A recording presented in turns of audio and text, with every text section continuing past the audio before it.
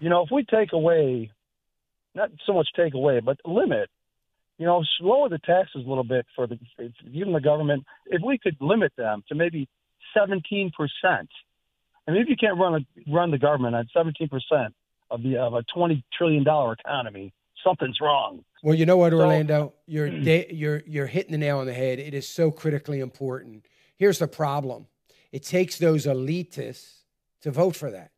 I think a, a flat tax or a fair tax is the way we should be operating our government.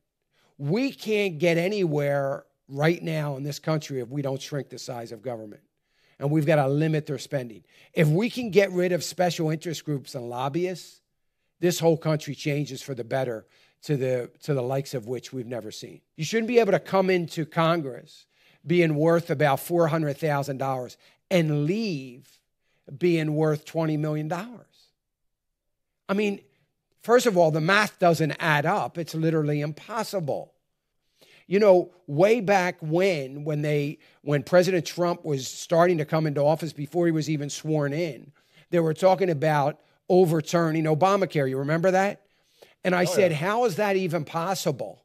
Because Paul Ryan and Mitch McConnell, just the two of them combined, took over $3 million from the insurance lobby. Just the two of them alone. And you really think they're going to overturn it or even put a bill on the floor? And you know, that is the problem.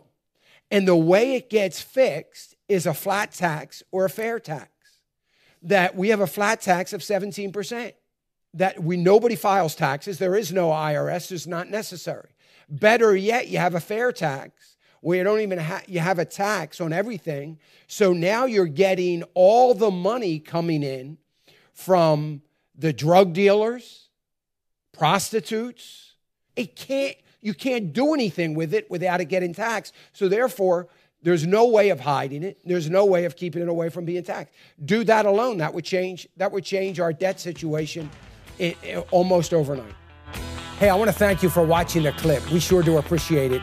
Would you go right now? Click on that subscribe button if you haven't already. That helps us. We would appreciate it. Thanks again.